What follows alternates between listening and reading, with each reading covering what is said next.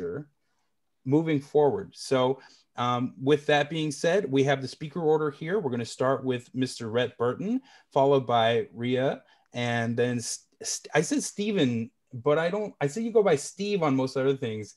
Uh, I just want me to call you Steve then. I go professionally, I'll go by Stephen because there is a famous Steve Henneberry who was a actor and bodybuilder. All right. That's yeah, and, and, uh, uh, yeah, and I think uh, I think uh, Henneberry is spelled wrong on the uh, on the um, it's B E R R Y. I mean, Steve didn't spot that, so I think you got away with it. Yeah, I, I did just spot that, but I figured. Don't worry, that you, there'll be no no instance of. Uh, of uh, is that is that person still alive? By the way. Yeah, if you remember back in the day, he used to be on American Gladiators. He was Tower on American Gladiators. Wow, that's intense. So if you Google Steve Henneberry bodybuilding, you'll find him. I, I'm I'm gonna do that as you know when you guys start talking. All right, I'm gonna jump right in. right into that. So apologies for the spelling mistake, by the way. And then we're going to have Aaron Jones and then Gary Ross. I am your host and moderator for today's discussion. My name is Victor Reeser, and thank you all so much for attending. Hopefully, again, like I said, um, we're going to learn some things about uh, how to adapt online teaching and move forward on our own, and also, you know, working together as educators all together, which is really the theme of the conference, right? So I'm going to go ahead and cover the questions really quickly, and then we'll get right to Rhett Burton. Hopefully you're ready, hmm. Rhett. Um, number one, the question that's posed to the panel is, teaching in a new setting has its challenges.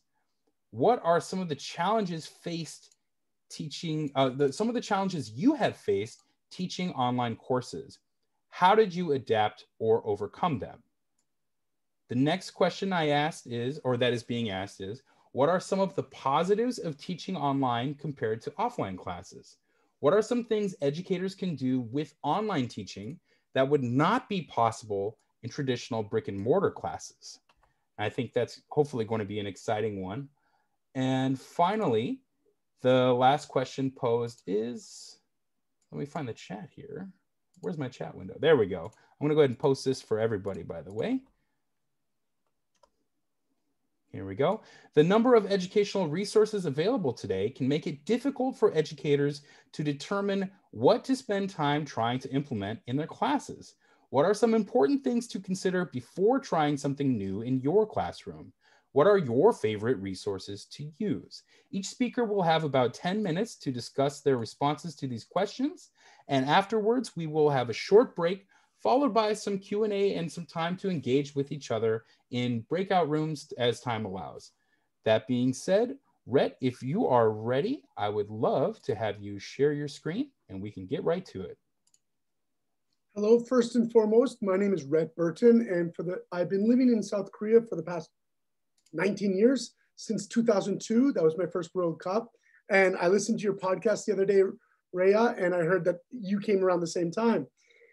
And since then, well, you know, I've been working in the I work. I started my career off as a kindergarten teacher. I moved to uh, elementary school, and then ten years ago or nine years ago, I started up my own study room, and that's kind of where I want to start is with getting my kids online. Now, remember, my kids at my study room are young learners. Uh, these two boys are my sons. One is online sometimes, and one isn't. Well, they're both sort of online, and uh, because they're both using tablets and you know whatnot. And and I, I've watched them use tablets and I've seen their frustrations with them. So I've learned how to move my curriculum or my content and my my web experience forward online with them as well as my students uh, at the same time. Uh, I started, I jumped online in in uh, in February before kind of everybody went online because I could see it coming and I was, I've been preparing kind of to get online for the past few years. Um, and that's, so I'm gonna step back a few years before like analyzing this first question of what are some of the challenges you faced with teaching online? Because I wanna talk about content first. A lot of people use content from published, uh, publishing uh, uh, creators. And when I was, or you know, by publishers themselves.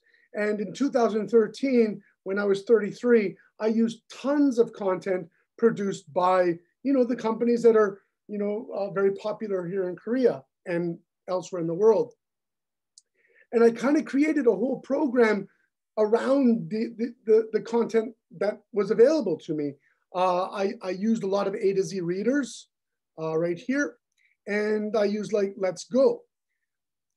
And I spent a lot of my time and energy creating resources that I could print for my students. And that was really nice. But at the same time, I was using technology in the classroom. So I started building websites and, and had you know homework on online for them to click and stuff. And I couldn't put this content online because of everywhere I went, it was protected by copyrights. So when things are uh, when things are protected by copyrights, which I'm glad they exist, um, it really makes things, you, you know, you I had to ask myself the question, you know, like, do I really want to invest the rest of my teaching career in creating content that I can never really sell or share legally?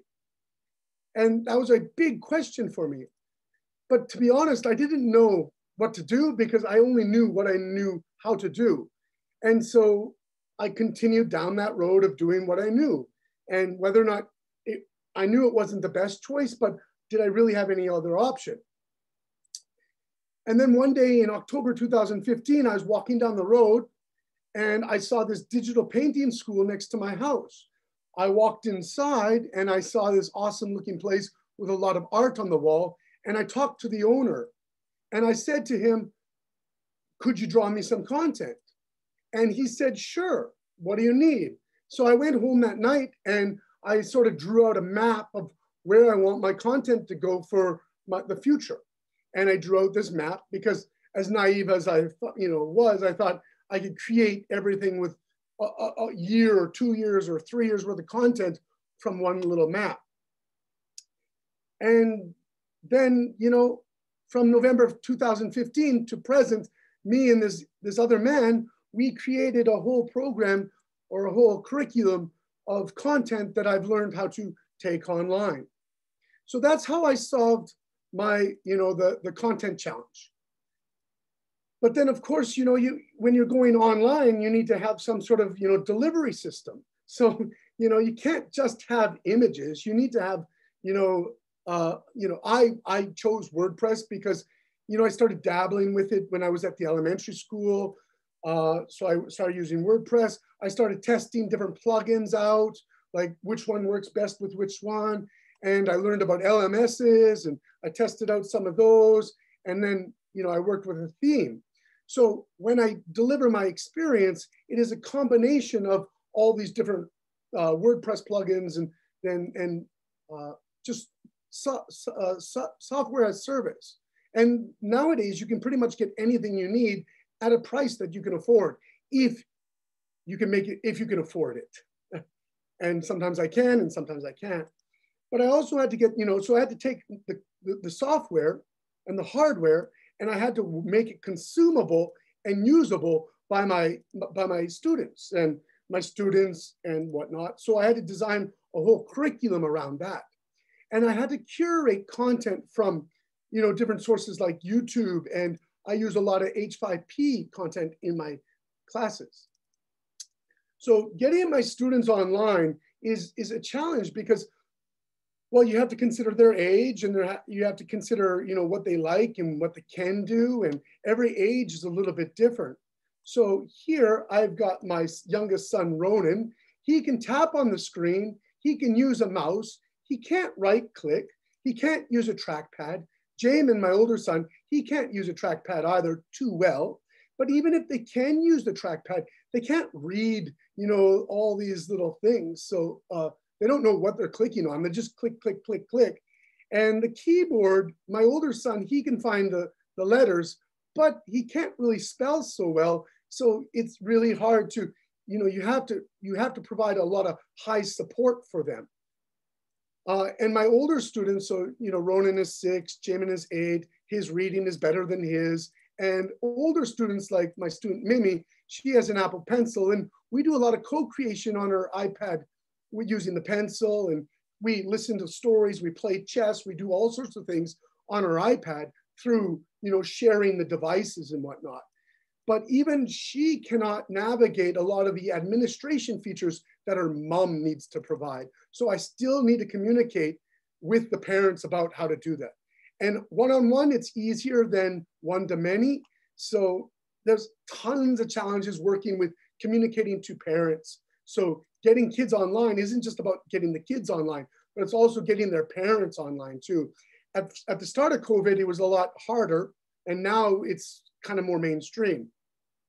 So what are some of the positive things about this? What, are, what, what can we do? Well, we can learn new tools. So we can learn how to create content. We can learn how to organize our content, put that content online. We can learn how to use uh, software solutions like H5P to create uh, interactive content types and a variety of other things. Um, last, the last question is um, uh, time spent trying to implement their classes are important things to consider. My, my, I want to invest my time, energy, and resources into content and processes with high ROI, return on my investment. So basically I've taken all this level two content and I filtered it through my phonics program. So every month that they're learning these, these courses, it's looped back through the phonics curriculum because this is something that they always need to learn, regardless of the content that uh, the content that, that I'm delivering to them, I can always redirect them, link them back, recycle them back to the phonics. So when you sit, when you actually learn the tools and you learn the process to use those tools, you can get very good at creating online content for students. Um, I don't know, do I have any, how much more time do I have, Victor? Uh, I guess I'll, I'll so- Like I'll one minute, sir. Okay, so if I have one minute, then I'll just quickly, this is so I created a website that, you know, allows my students to go to actually I should click on our class. I've got one minute. Uh, click here, and then I've curated the story, the, the stories uh, so that it goes bit by bit. I use uh, instructional design so that they can quickly get to where they want. They need songs. I got access to songs. Here's the, the phonics that links back to every, what's that? It links back to all the short vowels. And then it, you can jump to the exercises as well. So the students, when they go home and they need to practice at home for a little bit, they can click here by themselves and they can get that high support um, uh, interactive activities that they couldn't really get um, with, with, um, with just uh, by themselves, studying by themselves. So here, he, he is, he is happy because now they've learned these rebus strategies because he can uh, catch the ball, the ball. And then they check it. They don't feel bad because they got something wrong. They can just recorrect themselves. And I use a variety of different tools like this throughout. That's great, Mr. Burton. We are out of time though, sir. All right. So now I'll turn it back over to you, Mr. Victor. Thank you. We're going to go to Rhea, and that, that was great. Thank you so much, Rhett. You're welcome. Yes, we are going to start a club, the 2002 World Cup. Yeah, I like that. My red shirt with Reese too. So I'm going to jump in and share my screen. Okay, let me get this game rolling here. Um, I have been here since 2002 and taught pretty much every age group as well, including kindergarten. I'm really impressed with what you did there with young learners online. That's freaking amazing, seriously. um, currently, I teach university students, and this is very similar to a presentation that I have already done today, but I'm going to put it in context of these questions. I feel like a lot of these questions I do answer in this short presentation. So I started teaching hybrid classes three years before COVID started.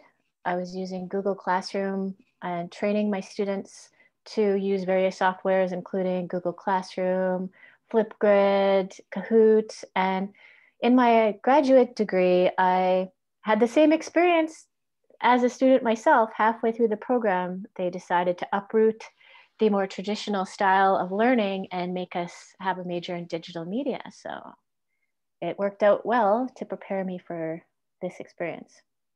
A flipped classroom is this acronym, as you can see. And the metaphor behind it for hundreds of years, we have learned in the classical education style of a sage on stage who lectures and students passively listen Especially in Korea, that's true. For some of you, you know how to speak Korean and you say 수업, class, 들어요, you listen to the class. Teacher, I didn't listen to your class well. Instead of take, like the Viking word that we stole in the English language, which is more active. So in a flipped classroom, the teacher is more of a facilitator and they create a learning environment in which the students have a lot of power to move around and choose how they're going to go about. You have a system of organized chaos that has been intentionally planned and you are there to help with the little niggly things that come along. Um, one way to know if you have really flipped your class is thinking about teacher talking time versus student talking time. So in some classes, when I'm giving instruction on how a test is gonna work or for a project, I will talk more. But most classes, it's about 90% students talking and I just bop in between their groups, either in a real classroom or in an online classroom. I could put this into perspective also from the very beginning of COVID, my university went 100% online and Zoom from the get-go. So that's how we've been for two semesters and we'll be doing it for sure the next semester, possibly the next two semesters, I don't know. Um, more about the flipped classroom design. You have the students do a lot of work before they come to the class. And I think the best way to do that is to have a very clear rubric um, and a very clear syllabus available in many forms, video with visuals, repeating information a lot in different places, making sure students feel comfortable to come to you a lot of it is building trust and rapport with students. So important to be approachable and take down those barriers. Like I mentioned, layers of communication is really important for students to take their time to understand what you're saying. Just because you said it or put it there doesn't mean they got it. So it has to be somewhere they can find it again. And it's good to repeat the things that are really important. I make things as short and concise as possible when I'm giving instructions. Levels in the classroom, most people deal with very multi-leveled classes of students. In the flipped learning environment, which is using technology in a hybrid or online class, it can be really a benefit actually, because you'll have a group of students talking and when a slightly lower level student is paired with a slightly higher level student, with the right coaching, the higher level student helps the lower level student to guide them through conversations and the higher level student benefits because when you teach something, that's when you learn it really well. So that's the system. And I tell the students that. I make them understand that everything I do is for a reason. That's the intentional aspect. So my semester, I see it as three stages. I have the breaking through, the middle stage of expansion, and then a reflective stage. And the breaking through, it's really about creating a comfort zone making clear rules, starting slowly and incrementally, making things a bit more complex, but we build up a routine that they learn to expect and get settled into. By the middle stage, um, most of my classes, they have done the work in the book, they've seen all the same discussion questions, they write their answers out, they do the same unit for two weeks, and then they're just in breakout rooms meeting one person after another after another. And I tell them you can choose the questions that you want. You can read your answers first until you're comfortable. And like any skill that you learn, when you repeat it again and again and again and again, you're going to get smoother and it gets more natural. So you don't even have to think about it.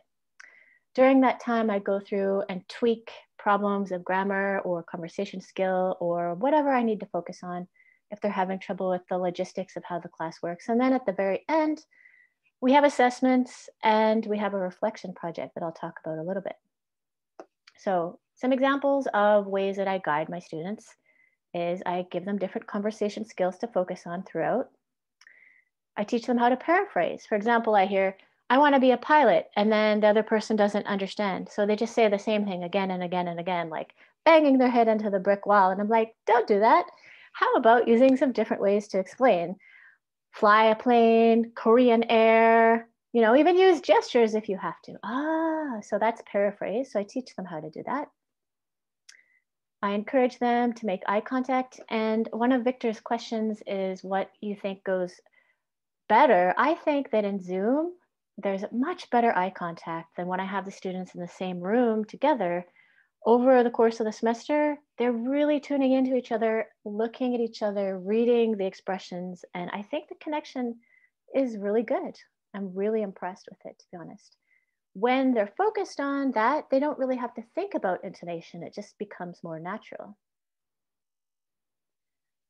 Um, I encourage students to really focus on that person that they're listening to and find out what they're interested in, find the common ground. You both like to talk about computer games? Go for it. You can do that the whole time. If that person is not interested in that, find something that you both like to discuss. Um, getting into the practice of asking follow-up questions is not intuitive from the beginning, but by the end of the semester, they've got uh, a better comfort with this level. So we have lessons on that and we keep repeating it. I also remind them, this is more towards the end of the semester, don't let things get too expected and robotic. Throw some surprises in there. Talk about what you saw in the news today, or feel free to throw something at that person that they were not expecting to keep things fresh.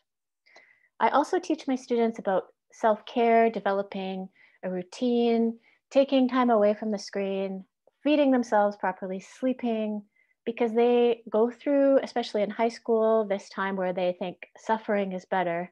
If you if it's harder, you're going to succeed. And I have to kind of retrain them out of that thinking. Um, I monitor accuracy based on the mistakes that I hear in class, take notes, and at the end, we do some corrective feedback as a group on a few general mistakes. And my assessments are the students join in groups of three on Zoom with me listening camera off. They make a recording of a 10 minute conversation based on questions they practiced in the class. Then they'll go off, listen to the recording again, make a transcript, and send it to me. And I grade very generously. I think Assessments are a chance to bolster confidence even more than anything else. I grade them according to how well they give me those assignments back. If they show up, participation, and then I have a rubric that I've designed of conversation skills that I share with them. At the end of the semester, there is a reflection exercise. After they do the written reflection exercise, they look at the project they did at the beginning and the end and think in general. I give them another rubric to think about it commonly I find that they want to travel more, their confidence is higher. Some of them say their personality is more outgoing, they are more motivated to study English, TOEIC scores can improve, and they just get a little bit more into that process oriented instead of product oriented mode that I want them to get into, therefore increasing their agency. Yeah. Okay, so I'm going to just jump right to the end and say, please contact me later if you have more questions, but we'll talk more in the breakout rooms. Thank you. That was great. Thank you so much. So far, two for two. Excellent job. I'm, I'm having a great time. Hopefully, you guys are as well. Yeah. All right. Mr. Henbury? Hen- Henneberry? Henneberry. Henneberry. Henneberry. Got it. There yep. you go. It only took me, you know, four times no worries, no worries. It's not not necessarily an easy one. Okay. Um. First of all, let me introduce myself. My name is Steve Henneberry. I'm uh, coming to you all from Japan today, and you can see my screen. Okay. Okay. Um, I've been teaching in Japan at the university level since 1998, and uh, that's my story. Um, so I took a more global look at the questions that Victor provided us with today. So I'm going to approach each question on its own. And the first is um, the challenges faced in this past year. And first, at the beginning of last year, I thought that 2020 was going to be the year of anxiety because many of us, when April was approaching, does your academic year start in April in Korea as well? Uh, March for universities, but it depends on what okay. So you guys are a month ahead of us. We start in April in Japan. And as as the time was approaching, we were all wondering, well, how is the system going to go this year? Because we didn't know. And I think I saw that um, Lindsay was saying in the podcast interview you guys did with OTJ the other night that the university kept on saying, we're going to do face to face in two weeks. And in two weeks, we're going to start classes. And that's what happened with me. We thought classes would begin at the beginning of April, but then they said, nope, we're going to wait two weeks. And then just the day before those two weeks, like, well, nope, we're going to wait two weeks. And then finally decided, well, let's just go online. So there was a lot of anxiety and tension for everybody. And a lot of the staff, the teaching staff, were now struggling to find a way to fit square pegs into round holes because they're trying to take their materials that they've prepared over years, they've been using year in, year out, and now they need to deliver it online. And for some people, this is very, very stressful. There were some stories in Japan of like older professors who chose to retire rather than trying to adapt to this new online online methodology. And so it's very stressful and caused a lot of anxiety for a lot of people. And one of the challenges that you faced once you got the students into your classroom was the feeling of connectedness. Because it's kind of hard to feel connected to somebody when you're looking, when you're thinking of just looking through this square window in your room, this magic window that lets you communicate. And a lot of us were apprehensive about how effective a language class would be online. And I think, in particular, when you consider the first year students, the freshmen were uprooted from their hometowns and they came off very excited to start their university life. And they moved into a new town. They were immediately told, don't leave your apartment for two weeks.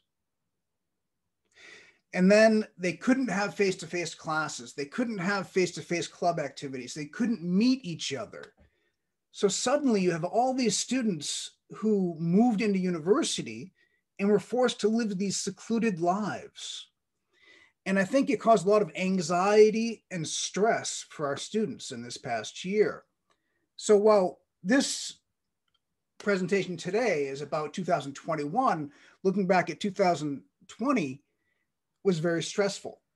And I think rather than being the year of anxiety, it was really the year of empathy. It was the year that we as teachers had to learn to empathize with our students more and take into consideration the stress and anxiety that they were coping with. Uh, some of our students were dealing with deaths back home for their family who were sick from the from uh, COVID and things like that. And of course, just from the simple stress of being in a strange town and not having any, not having been able to make any new friends. And I think that was incredibly stressful for students. Um, so those were, I think, were the biggest challenges that I faced, or I think that many of us faced in the last year. As to the positive aspects of teaching online,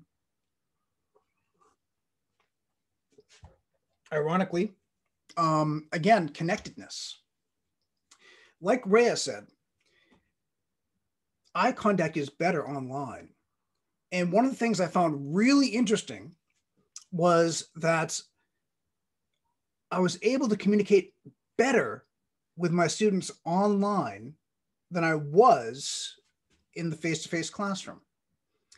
I was closer to the students because you don't have as many distractions, especially if you make effective use of breakout rooms. I found that by putting students into smaller groups for group work and task-based activities, that the groups are much more intimate And because they're in a breakout room, um, it's just the four of them, or just the three or two of them.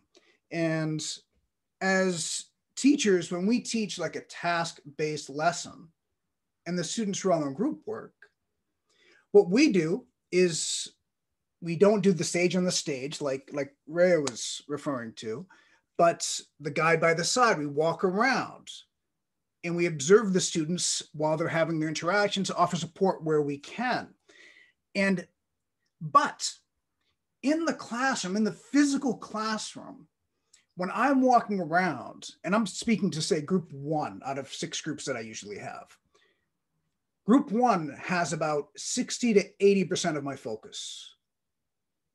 The other 20 to 40% is listening to the other groups in the room, listening for students who've, who've fallen back into L1, listening for students who are just sitting silently, and listening for students who are just messing about. So even while I'm speaking to a group in the physical classroom, I'm slightly distracted. Additionally, the students who are having their group discussion are distracted by my presence. The group next to them is distracted because they're wondering what I'm saying to this group. But in the online environment with Zoom in the breakout rooms, you can't hear anything outside of the breakout rooms.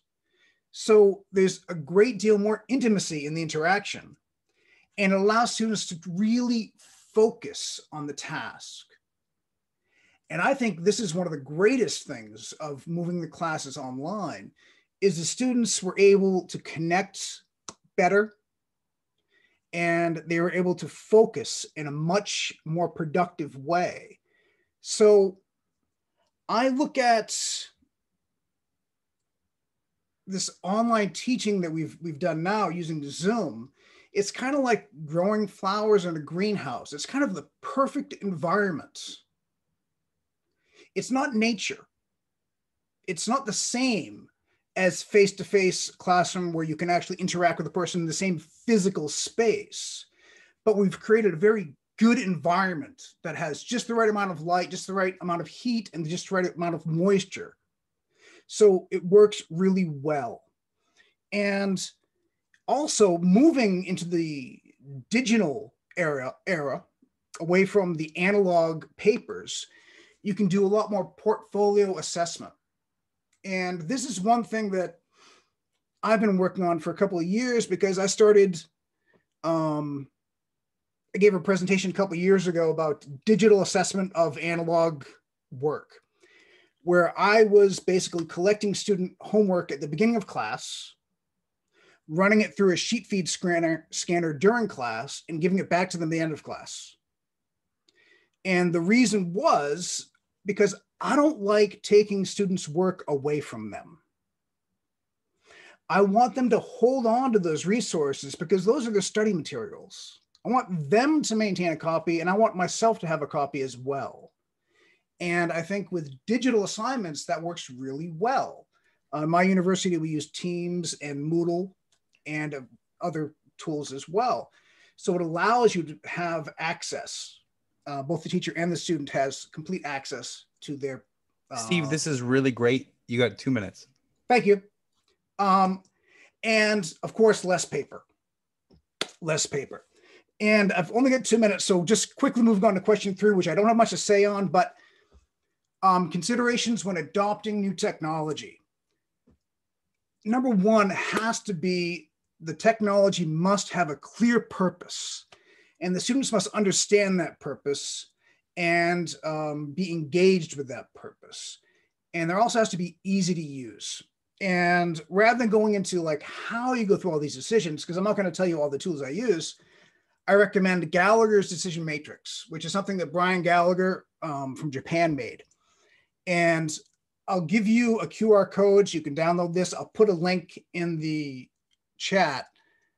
But this gives you eight different uh, questions to use and score any new tool that you want to use before deciding if you should implement it or not. It's a really good matrix to use, so I highly recommend it. Um, there's the QR code, but since I assume you don't have time, I will just drop the link in the chat. Okay. And that's all I have to say for today, except if 2020 was a year of empathy, I think 2021 is the year that we will be thriving. I think 2020 was surviving. Now, I think we're ready to thrive, built on the foundation that we've developed over the last year. And with that, I concede my time. Very nice work. Thank you so much. That was excellent. This has been great so far, everybody. Um, Stephen, if you could do me a favor, if you could just yeah. drop that QR code and perhaps the picture of that matrix, yep, the assets on our on our panel discussion oh, yeah. Eventzilla, that would be really yeah. great. Um, I'll drop it in the chat as well. Yeah. Oh yeah. Thank you. That looks really cool. I'm very interested in looking into the research behind that too. Um, and we're gonna move right on to Mr. Aaron Jones. Are you ready? I'm good to go. All right, can I, is, is my time officially started? You're good. Okay. Uh, hello, everyone. Uh, my name is Aaron. I teach at the University of Seoul. Um, I'm a little bit newer here to Korea. I moved here in 2017, so no 2002 World Cup, I regret to say. But I have been teaching at the university for seven years now. Uh, half of that was in the US and half of that was here. Uh, let me go ahead and pull up my PowerPoint. All right, so, um, oh, sorry about that. Uh, okay, so uh, first of all, uh, so thriving in the online classroom is where I'd like to go today. So just, let me just introduce a little bit about before COVID uh, and then kind of how I got introduced into a lot of uh, the online classroom setting. So uh, when I was teaching in the States, actually, I taught completely online uh, university courses. I was actually uh, involved in teaching undergrad courses in technology integration in the classroom, uh, ironically enough. And so it was all online. A lot of it was uh, asynchronous as opposed to synchronous, but I was I already had a lot of exposure to online teaching and to conducting uh, classroom settings online because in the US, we've been doing that for several years. Many universities have been doing it for decades where we teach online, we're fairly comfortable. But then when I came to Korea, I quickly saw that there was not too much experience, if any, in the university setting online. And so uh, when COVID rolled around, there was a lot of confusion. There was a lot of uh, uncertainty of how things are going to unfold. So I'm going to start by directly answering uh, Victor's question. The first question about challenges, and I'll kind of start by, uh, I'm going to go through all these questions and I'm going to talk about some specific things that I do in my classroom that have been, uh, that I found to uh, increase the success of my classroom. So when we started, when COVID happened, and my university was not sure what to do.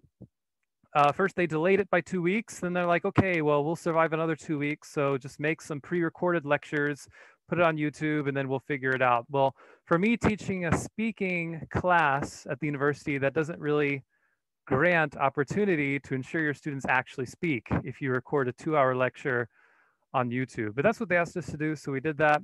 And then it looked like, okay, this is not going to be a two week or a month long thing. So we moved to Zoom, and that's when the challenges and opportunities began to arise. So at first, I think, uh, I am not sure if uh, Rhea or Steve mentioned this, but when the freshmen came for their first semester, they were excited for all the MTs. They were excited to meet their, you know, their upperclassmen and get involved in all these things. And it's just, it's all gone. You know, they just, they're staying at home. They're watching TV, basically, they're watching their laptops, they're watching their phones. And many of the professors didn't know what to do either. They're, you know, they may have, you know, they never did any interactive things. They just lectured their whole academic lives and and suddenly they have to fill two hours of teaching time and they filled up like 30 minutes and then ended the class. And so there was a lot of challenges and difficulties um, that we had to overcome and that we had to adapt. So one of the challenges that I saw uh, was the challenge of interaction. Uh, our students are digital natives. They have, they're very fluent in the digital language. They are very fluent in media. Um, but they in their minds compartmentalized that this doesn't exist in education. That, oh, I can go watch, you know, I can pull up a webtoon, I can go to Netflix, I can do, you know, I can become a YouTuber. But when it comes to education, you know, a, a real university class, what? I, I have to, you know, I have to be there. Just like Rhea said, you know, suop troyo, I listen to your class. Uh, so interaction was the first challenge. How do I break the students out? How do we uh, make a warm environment online that it can be cold if it's not created correctly? So um, one of the first things I did, uh, one of the first things I do in my regular classes is that I talk about myself, I introduce my family, and I introduce my pets. And I actually got the chance to do that physically. I have two birds. I'm a, I'm a bird guy. So I was able to bring my birds and show them in front of the students. And the students were like, oh my gosh, you have birds? Like I could have never, I can't bring my birds to my physical classroom, but I was able to show the students and to open up the ice breaking, open up the interactions and just help them to feel more comfortable. And as the class went along, just like Rhea said, like about the first third of the class was the basically the uh, hidden objective every day was to, hey, talk to each other. It's okay. Uh, we're all in this together. Just do the best you can. And so uh, as that came, as that, uh, as the classroom structure began to blossom and began to evolve, that meant 80% interaction, 20% lecture. Uh, and that's really what I try to do every every week. And as a main focus of my class, just make sure that the students are always having a chance to be in a breakout room uh, or a way to that they can interact with each other, even if we're all together in a class, and that mistakes are welcome. Uh, one of my rules that I have in my class is that you have to have your camera on uh, because many students will try to have their camera off. They're like, oh, teacher, I didn't take a shower today, or oh, you know, I just woke up like one minute ago and class started. I'm like, well, you know, it's part of your participation because speaking is involved with facial communication, nonverbal communication. And having that simple rule uh, really helped with my interaction.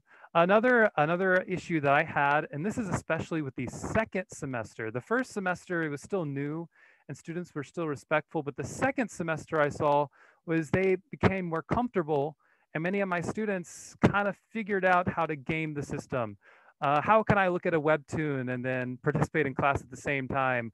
Or how can I, you know, play with my dog and interclass with, in, engage with class at the same time? Uh, so then a real challenge for me was to find engaging online content that would definitely reach out and eliminate as best I could these distractions. Uh, and what I found out was using, so what I would use in my regular classroom before COVID was competition. I, I love competition. I love uh, pitting them against each other, you know, always uh, speaking competitions, timed competitions, and finding ways to integrate that into the classroom was a way that I overcame engagement issues. And so I'm gonna actually introduce a couple of those competition ideas that I have integrated to great success in my classroom.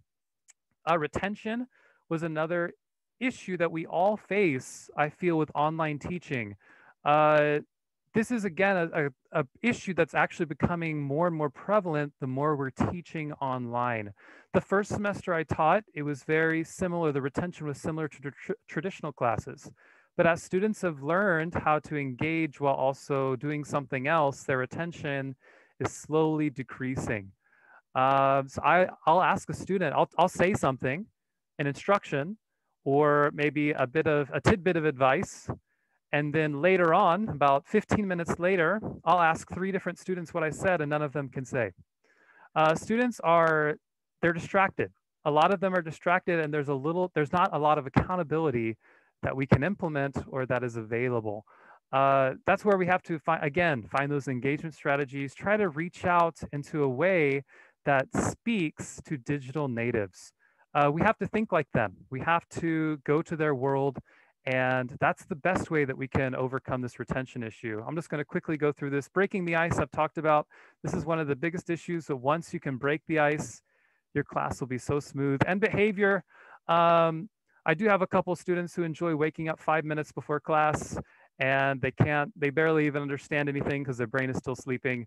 Uh, these are some things that as more uh, college students, upper level students, they have to, we have to address, you know, uh, giving them the opportunity to uh, fix some behavioral issues and addressing those. But these are some of the challenges I saw. But what I saw more so in the online teaching was the opportunities. So question two, what are the positive, uh, what are the positives of teaching online compared to offline? One positive I saw was flexibility. Um, when I was, when you teach in the, when you teach in the physical classroom, we always have students who show up late. Teacher, I overslept. Oh my gosh, I took a taxi and I ran here and I'm sweating, but I'm here, right? But you know, that's 30 minutes late. Uh, they can't really learn because they're so flustered. But flexibility. Um, all those students do wake up like five minutes before class. They can also wake up five minutes before class and come to class. It offers great flexibility for schedules, great flexibility for learning wherever you are.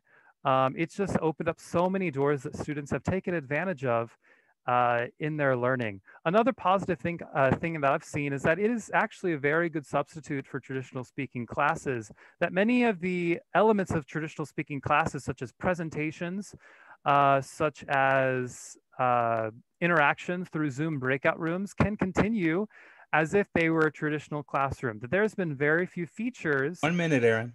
Oh my gosh, seriously? Ah, okay. So there, there's been very few features that cannot be substituted.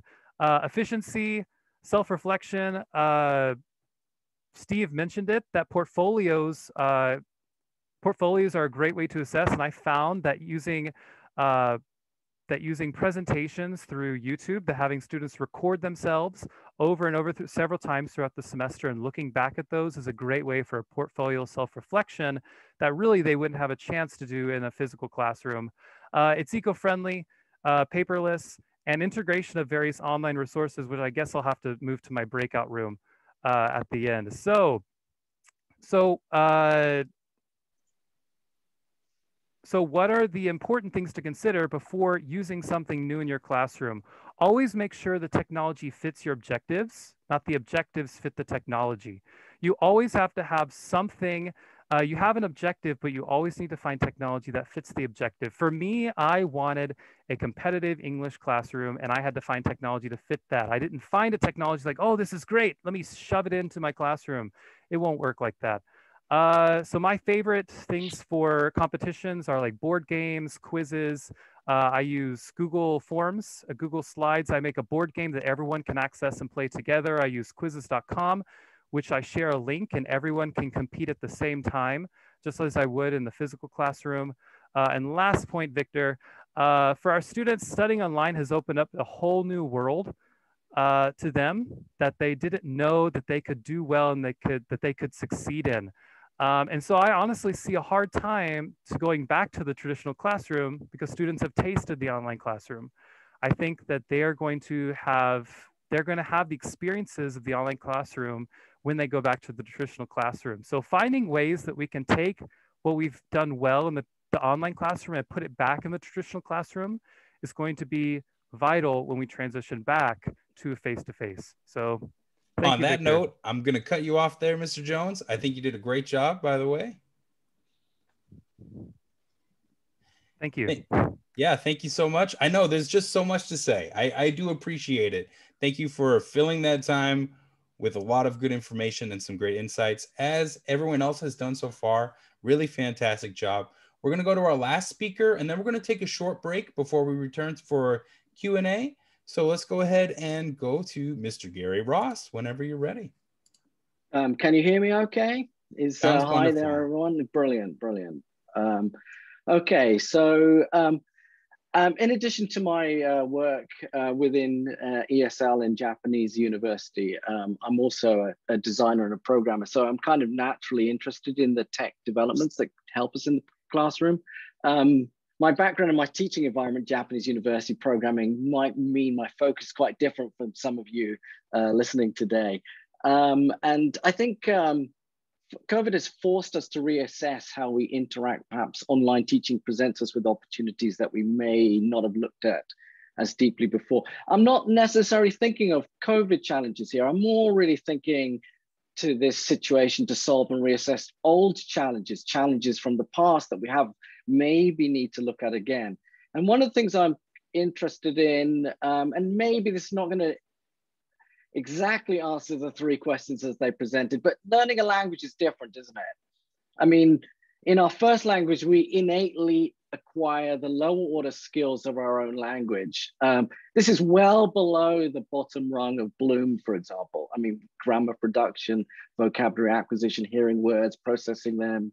Um, we are world class at these things by the age of three or four, such that the average toddler is far better than most of my university students. Um, I wish um, we had Rhett Burton um, over here in Japan developing the school curriculum for the for the kids in Japan. Um, so so basically, in our own language, we approach higher order skills such as you know, like forming an argument, telling a story, explaining an idea, writing a paper, telling a joke, analyzing concept, uh, presenting at KOTESOL, when we already have total control over our lower order skills. Uh, you might be thinking, hey, actually, that's debatable as you're watching me trying to um, navigate this uh, talk. Um, I can't really think of any other endeavor where we teach or use higher order skills before we are really good at the lower order skills. Nobody does a concert re recital or does improvisation with a jazz trio when they're still fumbling with the mechanics of playing the piano. Um, musicians have got the mechanics of playing down to muscle memory such they focus on the tune, not the mechanics um, of actually playing. And typing and driving are other examples. And also, at least when you are learning the piano, your teacher is not speaking Peonese, a language that you don't yet understand. And, you know, this is why uh, second language teaching is the hardest job in the world. Um, it's much harder than programming, for example, because of you are teaching people who don't understand the thing that you are teaching, okay, in the language of what you're trying to get them to understand. So I think if we are to succeed in these higher order things, then we need kind of total confidence at the more lower order things. And here's, here's where problem lies. In Japan, at least, students are asked to do these higher order language activities when they have very lower skill, low skills at lower order stuff. And this is, I think this can be pretty demoralizing. The student might be thinking, yes, I can order, I can analyze this difficult concept. I simply don't have the skills to translate my deep thoughts into English. Um, and Rhea brought this up. She talked about doing things again and again and again and again and kind of making variety of them in order to um, help the student improve in these kind of low order activities. Now, low order practices, I think, are seen as kind of boring and repetitive. Um, doesn't look great on a university syllabus. By the end of this course, you'll be able to form questions instantly and without thought. Um, and that's not to mention that in Japan, students spend maybe um, 10 years in the classroom. It's still boring and they still don't acquire these lower order skills when they come to university. So they're kind of woefully under, uh, unprepared for this. So, I mean, how is this uh, related to the online classroom and the position we find ourselves in now? Well, it's, it's generally understood that these lower order skills are things that can be achieved through practice that certainly doesn't need to do be done in a classroom setting. Um, the acquisition of these skills re requires a fair amount of autonomy. The student needs to take control of their own learning. Um, I think it's important to, we can discuss motivation later, but they're obviously they're tied together. Now, so there are, basically there are new online tools that are enabling students to take control of this learning themselves and, you know, acquiring these lower order skills, but the teacher can definitely kind of guide them. So I'd like where where I'm kind of interested is the kind of tools that students can use outside the classroom, the flipped classroom, in order to integrate staff within the classroom. I'm just going to I'm just going to share a couple of tools. One of them I'm developing myself. It's an update to a tool of learning Japanese, and the other is a tool that I use a, a lot in my classroom and encourage the students to use on their own. Um, so I'm going to share the screen. Let me just go to share screen. Here we go. Um, and let me see. Right, here we go. No, that's the wrong screen. I'm just going to, and of course, now that I come to, I'm, I'm I'm I'm meant to be the programmer here, and I can't even share the screen correctly. Hold on, here we go. okay, I'm just going to share the. Um, I'm just going to, and I've got to share the sound and optimize video. Click uh, share. Okay, so. Um, so can everyone see the screen here? Um, yes. Yes, you can. Okay, great, great, great, great. So uh, this this this this is an example of this is um, this is a this is a tool that I use a lot in the classroom where students are learning a lot of new words. Um, I, I, I teach uh, pharmacy students and they struggle they struggle with new vocabulary. And just because they learn it today doesn't necessarily mean it they're going to learn it tomorrow. And but they're able to take control of their learning because they are choosing the type of terms that they are using. So I'm just going this is this is called um, Youglish. Okay, I'm just gonna I'm just I've just typed in optimism, and if I click say it here. But that I feel like that takes a degree of optimism. so let's go on to the next one. So if the students like I want to I want to learn the word optimism. There, an implacable optimism, a strange mixture of humility and daring. Energy and enthusiasm and optimism well, this is appropriate, isn't it? One reason for such optimism over a frozen world like Mars is evidence that two billion years ago. And um, this is this is an example of a, a tool that I've developed for myself uh, for for learning for learning Japanese, where um, this is an example of the kind of technologies that we're beginning to reassess and look at. Um, so for example, this is learning Japanese. I'm, I'm, I'm assuming that many of you can't read this, um, but students can, if you're like me and you're a student of Japanese, you can't necessarily read something like this. You can kind of click and, okay, here's the verb, a more think.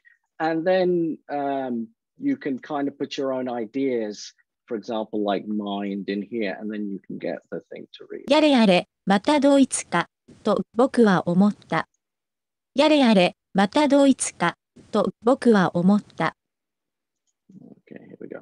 So I think, I think uh, from my point of view, the, the real key thing with the, with the situation that we find ourselves in now is that we want to reassess the kind of tools that work in the classroom and see if maybe the, the situation that we find ourselves in now will actually make us rethink what we are going, how we actually teach a second language, um, and refocusing on some of these things that might might actually be more effective within the COVID situation. In other words, re-looking at getting students to be better at lower order skills.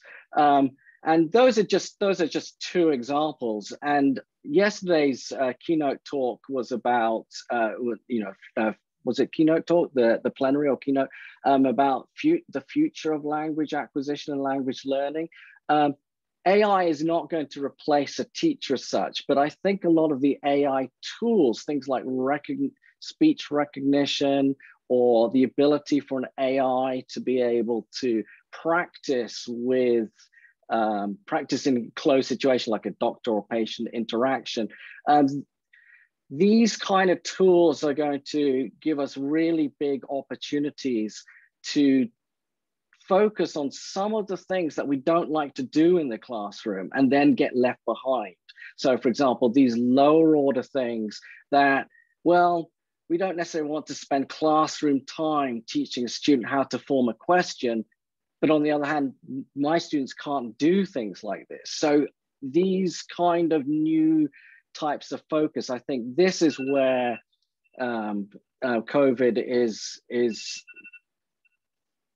kind of helping us out because it's making us rethink uh, these ideas. Um, and I think my 10 minutes is up. So um, my alarm just went off. So I think that's maybe a good time uh, to finish there.